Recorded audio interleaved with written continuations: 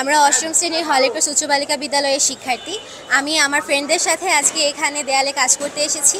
এটার মূল উদ্দেশ্য হচ্ছে আমাদের যে নতুন স্বাধীনতা, আমাদের বড় ভাই বোনদের আত্মত্যাগের বিনিময়ে আমরা এই স্বাধীনতা পেয়েছি। এই চেতনাকে কাজে লাগিয়ে আজকে আমরা দেয়ালে চিত্রাঙ্কন করছি এবং আমরা আমাদের শহীদ বীর মুগ্ধ ভাইয়ার পানি লাগবে কারও পানি এই উক্তিটি উপস্থাপন করছি। এর মাধ্যমে আমরা আমাদের দেশবাসীকে আমাদের দেশপ্রেম এবং আমাদের জাতির সাহসিকতার একটি উদাহরণ দৃষ্টান্ত স্থাপন করতে চাচ্ছি।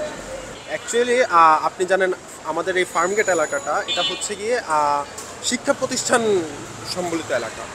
তো আমরা মূলত চাচ্ছিলাম যে এখানে এই ওয়ালগুলা হচ্ছে গিয়ে এগুলা দুই হাজার চব্বিশ সালে বৈষম্য বিরোধী আন্দোলনের সময় বিভিন্ন ধরনের লেখালেখি বা বিভিন্ন ধরনের মুছামুছি বা জিনিসগুলা খুব কটু কটু কথা সম্বলিত লেখা ছিল।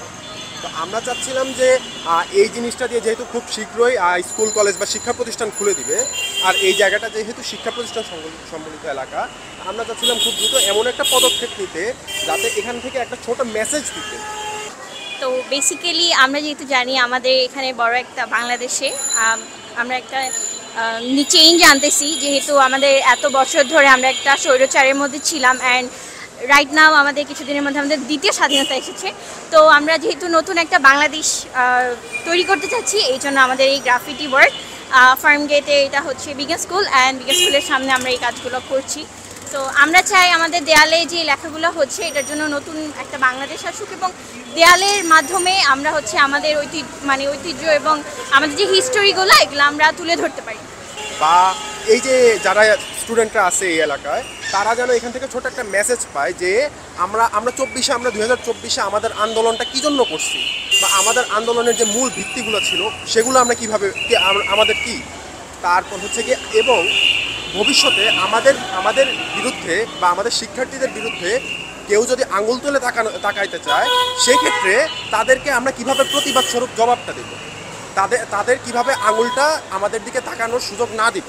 কারণ আপনি জানেন দীর্ঘ দীর্ঘ অনেক বছর পর আমরা একটি নতুন জেনারেশন বা একটা নতুন জার্নি স্টার্ট করতেছি। তো নতুন, আমরা নতুনভাবে স্বাধীন হয়েছি।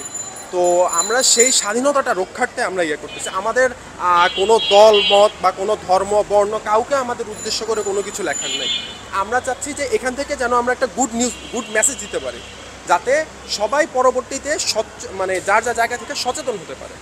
আমাদের প্রজন্মের সবাই মিলে আর দেশের সকল জনতা আমাদের সাথে একসাথে হয়ে একটা স্বৈরাচারী অটোক্রেটিক সিস্টেম থেকে এই দেশকে স্বাধীন করেছে। তো সেটার একটা স্মারক বলা যায় আমাদের এই দেয়াল লিখনকে। তো এখানে আবরার ফাইয়াজের ফেসবুকের যে বায়োটি ছিল, সেখানে আমরা এটা লিখেছি, যেন মানুষ এই স্বাধীনতার জন্য যারা জীবন দিয়েছেন, তাদেরকে অনেক সময় ধরে মনে রাখতে পারেন। আর ভবিষ্যতে যদি এরকম আবারও কোনো অটোক্রেটিক সিস্টেমের রাইজ হয়, তাহলে যেন এগুলো তাদেরকে স্মরণ করিয়ে দেয় যে একবার আমরা স্বাধীনতা অর্জনের জন্য কি করেছি।